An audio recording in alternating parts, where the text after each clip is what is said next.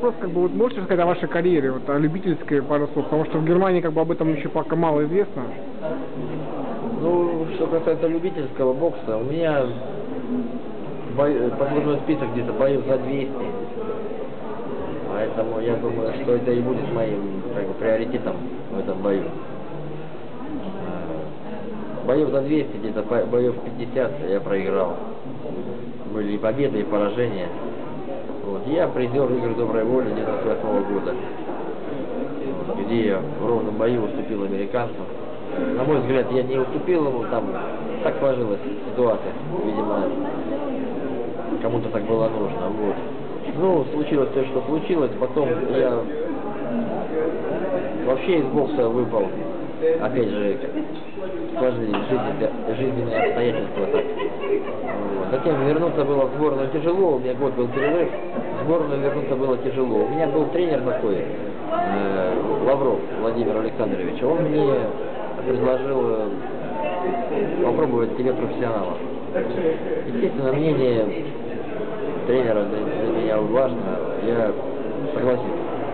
Начали работу, э, провел я 12 боев.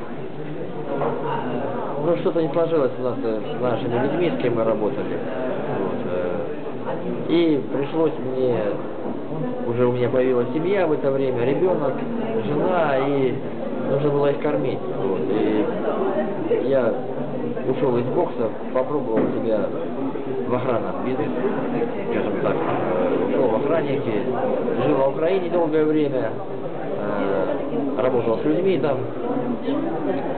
Вот. Затем уже, ну, был и в Украине, и в России. Затем, приехав э, в подмосковный Чехов, я уже эту историю рассказывал, э, встретил Саню Повиткина. А мы с ним с детства знакомы, и вообще наши города расходят, находятся на расстоянии 140 километров между ними. И с детства мы общались довольно-таки близко. Ездили на чемпионат Европы еще в 97 году. Поэтому, увидев его, я был очень рад и вообще как бы пред, воспринял это как э, шанс мой, как предназначение судьбы. И вот так вот я к нему обратился с просьбой помочь. Таня, так и так. Александр дал мне телефон Владимира Шуринова. И потом поэтапно, поэтапно, поэтапно мы начали работу. Сейчас мы дошли к, э, можно сказать, той точке, какую я и стремился. Слава Богу, пока все идет нормально, поэтому надеюсь, что все будет дальше складываться хорошо. А вот любительская школа вам помогает вот на профессиональном ринге тоже? Очень помогает.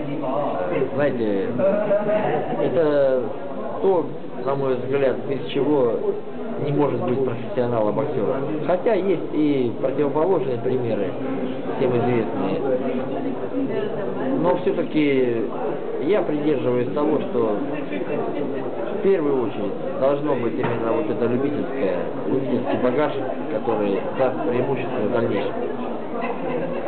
Ваш с Алексеем очень яркая победа, да, как бы вот э, многие, наверное, эксперты не ожидали, потому что Алексей тоже очень титулованный боксер. А вы сами как вот этот бой вот сейчас вот уже когда прошло столько времени, как вот вы расцениваете его? Это один из такой самых таких важных э, боев вашей карьере, одна из самых важных побед?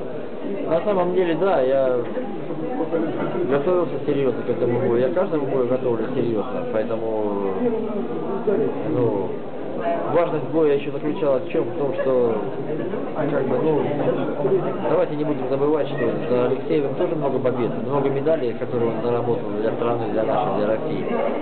Ну, сложились обстоятельства, он уехал в Германию. То, что там, как получилось э, с этим интервью непонятным, я не знаю на самом деле. И я, не мне тут делать выводы, судить кого-то, э, поэтому, или осуждать. э, Поэтому, ну, так сложились обстоятельства. Вышли, не уйти от этого было. Разобрались, помочь Никаких претензий, только спорт. Э, Надеюсь, что и он на меня. Мы знали, чем, каким видом спорта мы занимаемся. И здесь в любой момент может быть палка о двух концах. Вы уже, по-моему, в Германии один раз боксировали, да? Вот один бой у вас был уже. Какие вообще впечатления вас остались о Германии? Или вот сейчас какие впечатления вот первые о, о Берлине?